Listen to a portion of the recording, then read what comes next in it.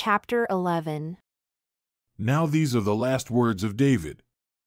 David the son of Jesse said, And the man who was raised up on high, the anointed of the God of Jacob, and the sweet psalmist of Israel, said, The Spirit of the Lord spoke by me, and his word was in my tongue.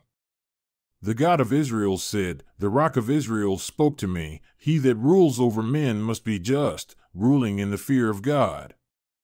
And he shall be as the light of the morning when the sun rises, even a morning without clouds, as the tender grass springing out of the earth by clear shining after rain.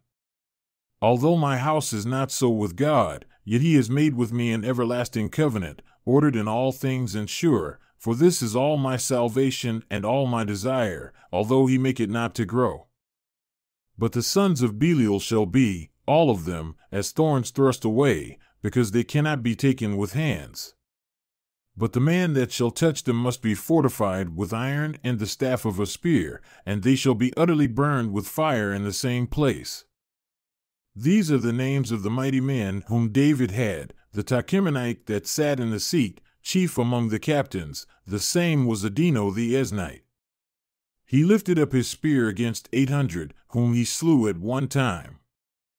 And after him was Eleazar, the son of Dodo the Ahohite, one of the three mighty men with David when they defied the Philistines that were there gathered together to battle, and the men of Israel were gone away.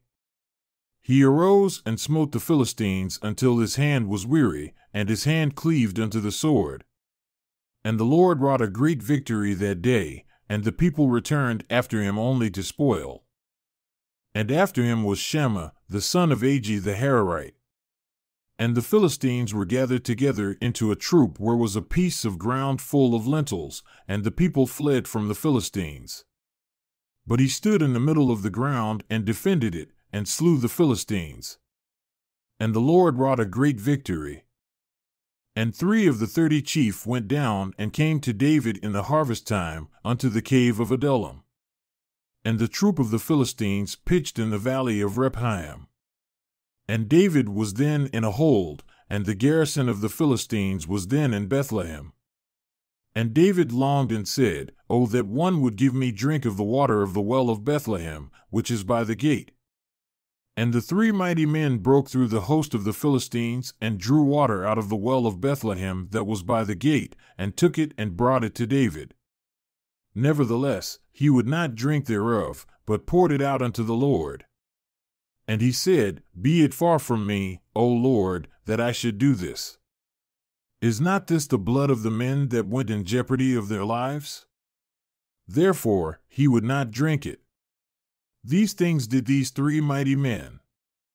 And Abishai, the brother of Joab the son of Zeruiah, was chief among three. And he lifted up his spear against three hundred and slew them, and had the name among three. Was he not most honorable of three? Therefore, he was their captain. Nevertheless, he attained not unto the first three. And Benaiah the son of Jehoiada, the son of a valiant man of Kabzeel, who had done many acts, he slew two lion like men of Moab.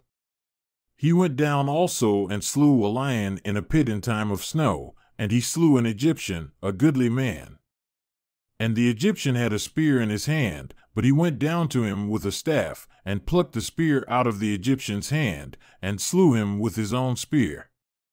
These things did Benaiah the son of Jehoiada, and had the name among three mighty men. He was more honorable than the thirty, but he attained not to the first three. And David set him over his guard.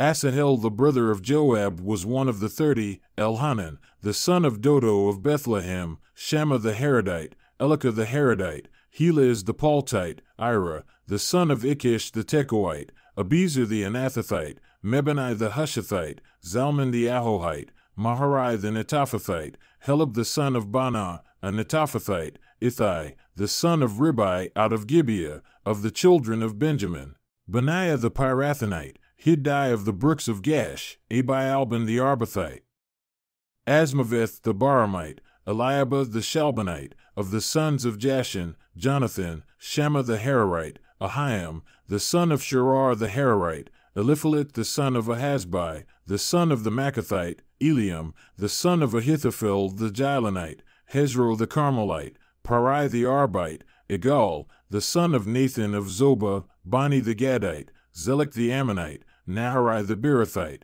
armor bearer to Joab the son of Zeruiah, Ira and Ithrite, Gareb and Ithrite, Uriah the Hittite, thirty-seven in all.